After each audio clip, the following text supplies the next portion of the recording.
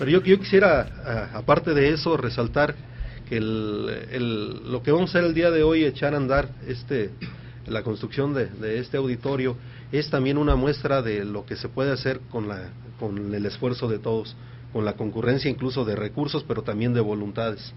Porque como muy bien dicen, eh, eh, el momento en el que el, la Facultad de Medicina Veterinaria y Zootecnia, de manera muy generosa, el, hace el, pues prácticamente la sesión, aunque todos somos universitarios, pero de este espacio en donde se construirá el auditorio, pues también de, de alguna manera está mostrando su solidaridad, pero eh, y también el Instituto de Investigaciones Agropecuarias y Forestales va a contribuir con alguna, alguna otra cuestión. Todo lo que podamos hacer en estos tiempos complicados tiene que ser así, tiene que ser con concurrencia de recursos, con concurrencia de voluntades. Entonces aquí una un agradecimiento, una felicitación a, estas dos grandes instituciones de nuestra universidad, muy relacionadas entre sí, para que, porque lograron, lograron esta conjunción de esfuerzos.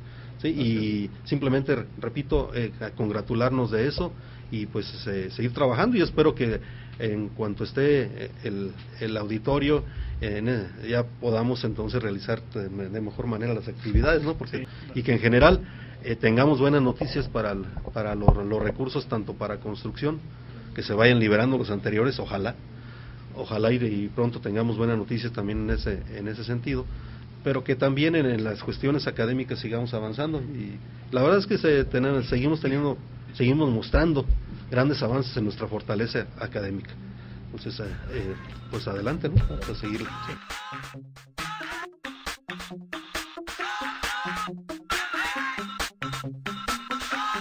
Sí.